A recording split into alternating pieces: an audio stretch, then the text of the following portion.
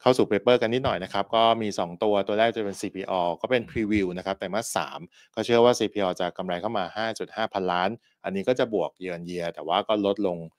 12% Q on Q นะครับก็ปกติไตรมาสสามมันก็จะเป็น low season อยู่แล้ว แล้วก็ประกอบกับมีเรื่องของน้ำท่วมฝนตกอะไรต่างๆด้วยนะครับ same store sales คาดว่าจะโตประมาณสัก 3%ซึ่งก็ถือว่าลดลงนิดหน่อยนะครับเยือนเยียประมาณสักครึ่งเปอร์เซ็นต์แต่ว่าอันนี้ก็ต้องยอมรับว่า ไตรมาสสี่เชื่อว่าการแจกเงินเอ่ยหรือว่าภาพรวมของเศรษฐกิจน่าจะดีกว่าไตรมาสสามเนี่ยก็น่าจะทำให้เซมซอร์เซลเนี่ยดีกลับขึ้นมาได้ แต่อย่างไรก็ตามเรามองทั้งปีเนี่ยสี่เปอร์เซ็นซึ่งก็ต้องยอมรับว่า โอกาสที่จะไปถึงตัวเลข 4%เนี่ยอาจจะ challenging นิดนึง เพราะว่าเท่ากับว่าแต่มาส4มันอาจจะต้องโตมันไปถึง 5%เลยนะครับนี่ก็เชื่อว่าอันนี้ก็จะเป็นดาวไซด์นิดหน่อยที่เรามองเรื่องของ same store sales growth ส่วนตัว margin เนี่ยเชื่อว่าจะปรับดีขึ้นประมาณสัก 50 basis point นะครับนี่ก็ด้วยการที่เขาขายสินค้าที่เป็นพวก ready to eat หรือว่าพวกพวกพร้อมทานพวกอาหารอะไรเนี่ยเยอะขึ้นนะครับนี่ก็เป็นตัวที่มี margin สูงขึ้น แล้วก็สินค้า margin ต่ำโดยเฉพาะบุหรี่เนี่ย มันลดลงค่อนข้างชัดเจน ก็ทำให้เป็นตัวเสริมว่าสินค้า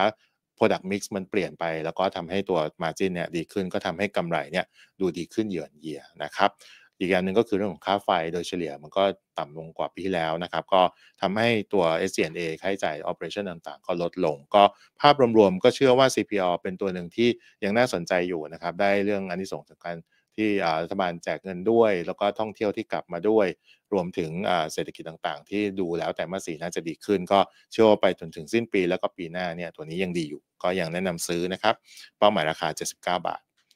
อีกตัวเป็น CPF นะครับก็ไปพรีวิวเหมือนกันนะครับว่าที่ไตรมาสสามเนี่ยน่าจะกำไรประมาณ 7,000 กว่าล้านนะครับ อันนี้ก็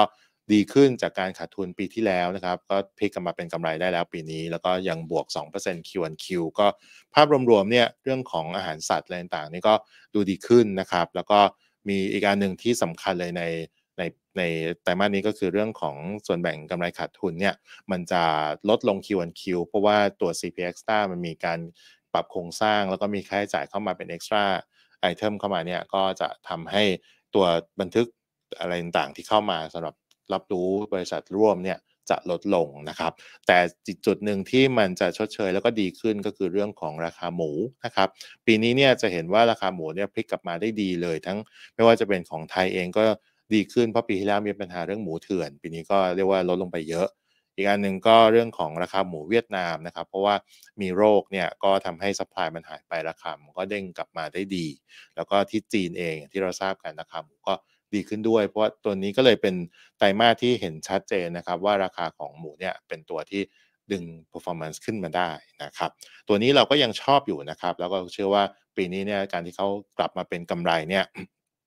ก็ถือว่าดีกว่าที่เราคาดอ่าแล้วก็กำไรดีเร็วเร็วกว่าที่เราคาด แล้วก็มากกว่าที่เราคาดด้วย ก็ยังแนะนำซื้อนะครับ เป้าหมายราคาก็ 29.5นะครับตัว CPF จะขอเชิญชวนนักลงทุนทุกท่านช่วยโหวตนะครับสำหรับงาน IAA